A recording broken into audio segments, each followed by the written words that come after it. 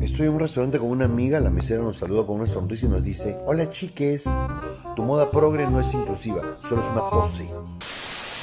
¿Sabías que hay personas con discapacidad que también usamos lenguaje inclusivo? Sí, de hecho, la causa de las personas con discapacidad no está muy lejana de la de los colectivos no binarios, aquellas personas que no se reconocen ni como hombre ni como mujer. Desde Reforma creemos que las últimas declaraciones del actor Sergio Galiani son ciertamente lamentables, porque pretende asociar la inclusión social única y exclusivamente en términos de discapacidad visual, auditiva o psicológica, excluyendo las vivencias de género y sexualidad. Las personas de género no binario existen y reciben constantemente discriminación en los espacios públicos, los medios de transporte, los servicios de salud y los negocios. Frente a esta situación no podemos ser indolentes. Nosotras también reivindicamos el uso del lenguaje. Por ejemplo, cuando la gente se refiere a nosotros como cieguito, sordito, inválido, nos están diciendo un montón, porque nos están diciendo cómo nos perciben, como niños por el uso del diminutivo o como menos válidos. El término inclusión tampoco debería restringirse a un solo colectivo. Cuando hablamos de inclusión deberíamos pensar también en comunidades históricamente excluidas, como las comunidades afroperuanas, indígenas, etc. La inclusión es un camino. Y cuando nos referimos a inclusión en el caso de personas con discapacidad, no nos limitamos solamente a hablar de braille o de lengua de señas. Mira qué bien, nos viene estupendo, porque un ratito viene mi hermana que es ciega. ¿Tiene la carta en braille? Ay no, esa no tenemos. Mm. De hecho, yo soy una persona ciega y no uso mucho el braille. La inclusión es cuestionar estereotipos. Inclusión sería, por ejemplo, abogar porque haya más actores con discapacidad en el sector artístico. No te hagas drama, suele pasar. Me imagino que el lenguaje de señas para los clientes sordos deben saber, ¿cierto?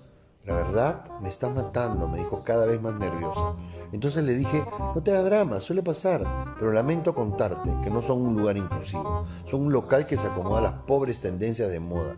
Galiani descalifica el uso del lenguaje inclusivo etiquetándolo de moda, cuando en realidad es necesario que la sociedad haga un uso de un lenguaje que no sea ni masculinizante ni discriminatorio.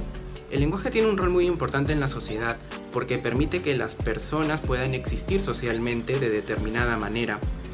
Los prejuicios y las discriminaciones de género pueden manifestarse en las fórmulas de tratamiento, como la imposición de ciertos pronombres u otros recursos léxicos que no resultan representativos para muchas personas.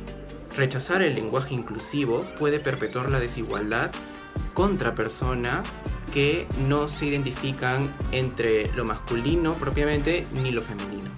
¿Quieres ser inclusivo? Incluye a todos los que el sistema directamente no les da lugar.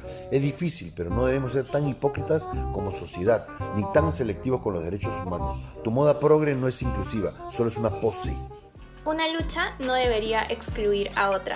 Todas podemos ir juntas de la mano. Necesitamos fomentar la discusión sobre el uso del lenguaje inclusivo porque hay personas que ciertamente no se sienten identificadas bajo el rótulo de un todos. La igualdad e inclusión de género se lograrán desde diversos espacios, como el arte, la cultura, la educación, espacios en los que el lenguaje tiene un rol muy protagónico. Todos, todas y todes estamos invitados a fomentar mediante nuestras acciones el reconocimiento positivo de nuestras diversidades. Así que antes de deslegitimar una causa, te invito a conocer más de la realidad de las personas con discapacidad. Ahora mismo, por ejemplo, el Congreso quiere aprobar una nueva ley general de personas con discapacidad en plena pandemia y no nos ha consultado nada. Soy Andrea Burga y soy una persona con discapacidad visual. Me llamo Renato López, soy lingüista y representante de Reforma Trans, el cual es un grupo que trabaja por los derechos humanos y educativos de las personas trans en el Perú.